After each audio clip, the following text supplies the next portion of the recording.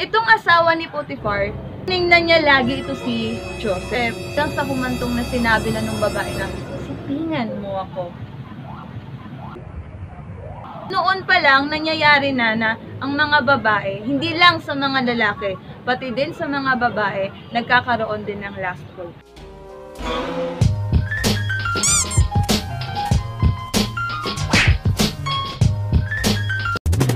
Oh, hey, wait! Saglit lang ito, huwag mo escape!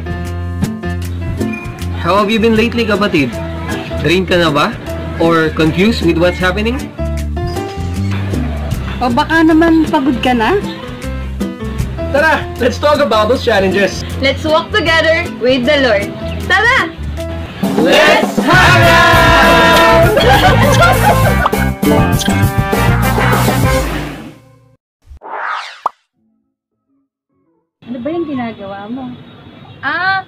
tinitingnan ko po yung mga artista kasi po, ang sexy po nila, ang kikinis po ng balat.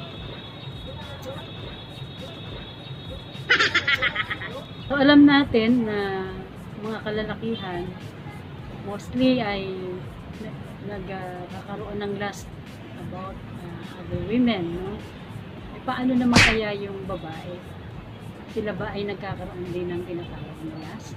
Kapag yung isang magandang babae, halimbawa, nakita mo yung isang magandang babae, ang ganda yung kanyang katawan.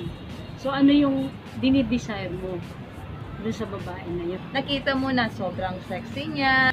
Doon pa lang, pag ninanais natin na magkaroon ng ganong katawan, ay nagkakaroon pala last yung babae. Eh, ang last, ito ay can be a strong desire about uh, sexual or a desire to attain something. Hmm. Pagamat hindi naman lahat ay masasabi natin magiging kasalanan, pero magiging uh, kasalanan yun kapag ka masyado kang nag-aim sa ganong bagay which hindi naman po pwedeng mangyari sa iyo. Wala naman siguro masama na mag-exercise ka, Yes. 'di ba? Wala namang masama kung kumain ka ng mga masusustansyang pagkain. Maganda Kaso yun eh. maganda nga 'yun, 'di ba? Kaso nga lang, siguro dahil sa nakita mo, parang meron ka nang dinadagdag sa katawan mo o meron ka nang binabawas. Kasi mismo ang Panginoong Yesus ang nagsabi na sa pagtingin pa lang ng isang lalaki, pero ang sabi nga nabubuo yung tinatawag na last, ay nagkakasala nito sa kaisipan. Ngayon, paano naman sa kababaihan? O pwede bang mangyari? Pwede rin, di ba? Minsan may mga babae na sila yung nagpapakita ng ano, motive sa isang lalaki kasi dinidesire nila ito. Mm. Ayan. So, doon na pumapasok yung last na binabanggit mo sa Matthew 5.28 na nagkakaroon ng kasalanan. Mm. Yung isang tao, mapababae o mapa May akong nakilala, siguro mga 15 years old or 18 years old yung batang yon. And then, ano siya, naka, naka-t-shirt siya nung una. Pero nung hinubad niya yung t-shirt niya, eh may abs. Eh di napa, napawawa ko, napawawa ko, napawawa ko. Ito, na-acquire natin maaaring through environment. Mm. Sa panahon nga natin, ay talaga namang nagiging kalakaran na ng mga tao. Parang yung trending na yan, Oo. no? Na through the environment, ay po pwede kang magkaroon ng tinatawag na lustful thoughts, no? na sabi nga sa 1 Corinthians 15.33, wrong association corrupt good manners. Sabi nilang babae kasi naka-short, naka-sleeveless lang. Pati rin pala sa lalaki, kailangan mag-ingat din sila sa dinadamit Kung pwede rin kasi ang mga babae dahil doon ay nagkakaroon talaga siya ng lustful thoughts. Sa mga babae din na na mga nanonood, tayo na mga nanonood ng K-drama, alam natin yan, pati yung mga nababasa natin ng mga novel books. Dumadating tayo sa punto na nag-iilusyon tayo na tayo yung leading lady dun sa storya. Yung sinabi mo, Sister Cher, through the eyes and the ears, po pwedeng magkaroon ng lustful thoughts. Ang components kasi, di ba, Sister Cher, meron tayong body, no? Yung ating uh, nakikita sa, ano, sa physical. Meron tayong body, meron tayong soul and spirit. So, ang napagtutuunan ng maraming tao ngayon ay yung body lang. No, kaya para sa kanila is parang common na lang yung magkaroon ng lustful thoughts. Kasi nga, hindi na bibigyang pansin yung spiritual. Pero pag Bible ang pagbabasihan mo, ang sabi nga ng Panginoon sa Matthew 6:22-24, na yung mata natin ay nagsisilbing bintana ng ating mga kaluluwa. Sa binanggitang kaluluwa, ano bang meron sa kaluluwa? Yung ating intellect, yung ating emotion, and ating will. Na kapag hindi natin nabantayan, sa intellect pa lang, yung ating kaisipan, ay po pwedeng mapagharian na tayo na tinatawag na lustful thoughts. Focus lang tayo dun sa body, which is, nag-start yun sa curiosity. And then, after that one, hanggang sa magiging lastful thoughts na siya. Kasi yun yun yung laging tumatakbo sa isip mo. Nag-urge na. Nagkakaroon ka na ng desire, taking action ka na dun sa nasa isip mo. Kailan ng falling of Adam, Adam and Eve in uh, the book of Genesis, the Bible, Genesis 3. Dito nagsimula yung lustful thoughts eh, sa totoo lang. Sa creation pa lang. Bakit? Di ba merong pinagbawal sa kanila na huwag kainin na tree of uh, the knowledge of good and evil. Pero itong si Eva, sa halip na umiwas siya doon, lagi niyang pinagmamasdan everyday, maaring everyday, lagi siyang pupunta doon sa lugar na nandun yung ah, tree of knowledge of good and, and evil. So, tinitingnan lagi at hanggang sa napansin niya na good for the eye. Sabi nga nila, apple of the eye eh. Kaya akala nung iba may sinus yun. Pero hindi, di ba? So, naging maganda sa kanyang paningin. Kaya nga, sabi natin kanina, because of the curiosity, so, doon nag-start yung pagkakaroon ng last paper. So, Yung si Joseph naman, um, sa ancient world, siya yung Brad Pitt na tinatawag natin sa panahon ngayon. Siyang katiwala ni Potiphar. So, ah, servant, a loyal servant. So, hang- hanggang sa tumaas yung posisyon niya, naging supervisor siya sa household ni Potiphar. Ngayon, itong asawa ni Potiphar, Tingnan niya lagi ito si Joseph. Hanggang sa humantong na sinabi na nung babae na, sipingan mo ako. Noon pa lang, nangyayari na na ang mga babae, hindi lang sa mga lalaki, pati din sa mga babae, nagkakaroon din ng lustful thoughts. Kaya napakahalaga na ating maunawaan ang patungkol dito, hindi para pahiyain tayo no sa ating mga ganyang kalagayan, kundi mapagtagumpayan pa ah, na natin sa isipan pa lang no? Kasi lustful thoughts ang pinag-uusapan dito. Kasi nga hangga't hindi mo pa naman naiaak yan hindi pa yung magsisilbing kasalanan mo eh Mm. no? Pero yan eh once na naiak mo na kagaya ng asawa ni Potiphar gaya ni Eva, yun na, nagiging ah, sin na yon. Ang Biblia ay merong napakagandang ah, mensahe patungkol dyan kung paano natin to ma-overcome. At yun nakasulat sa Philippians 4, verse, Verse, so sabi sa Philippians 4 verse 8, Sa wakas, mga kapatid, dapat maging laman ng inyong isip ang mga bagay na karapat-dapat at kapuri-puri.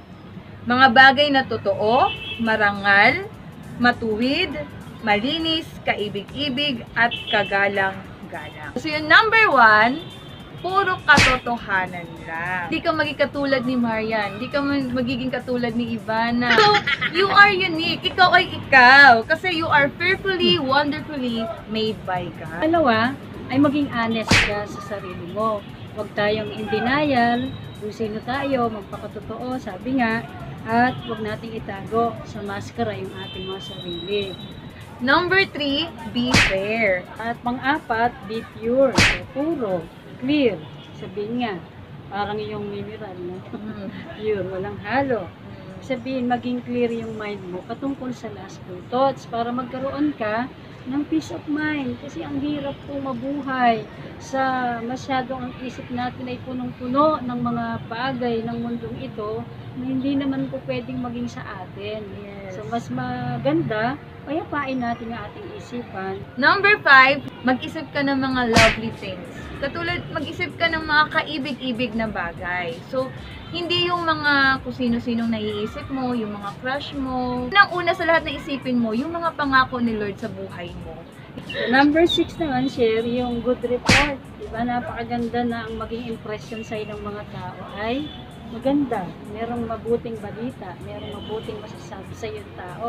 Kaysa yung nabubuhay ka sa mundong ito, ang daming mga chismis patungkol sa iyo. Number seven, be a woman of virtue. Sabi nga sa Proverbs 31, She loves Jesus with all her heart. She is faithful, she is lovable, she takes care of her physical, mental, and spiritual health. She serves others with love and kindness. She is a wise steward of God's gift. She is industrious and works with willing hands. She is a good manager of her house. And she spent her time on that which is good. She is creative and embrace godliness. yung good reputation. Sa panahon natin, parang ang iba, sinusugal yung puri because Oo, of yes. money, di ba? Yes. Pero kung ikaw ay mayroong pagkatakot sa Diyos at alam mo na hindi magandang masira yung iyong reputation dahil sa pagkatakot mo sa Diyos, so napakagandang piliin natin yung good reputation than money. Sa lahat po ng mga kababaihan na yan, hindi po tayo exempted sa lustful thoughts. Kasi kung ano naririnig natin, kung ano nakikita natin, at kung ano yung napapanood natin, yun yung tumatanim sa ating isipan. Para maalis yung lustful thoughts, unang-una, isipin natin yung puro katotohanan lamang. Pangalawa, dapat maging honest ka sa sarili mo. Pangatlo, maging fair. Pang-apat, be pure. Pang-lima, be lovely. And then, pang Anim, good report. Iisipin natin. Then number seven, yung virtue.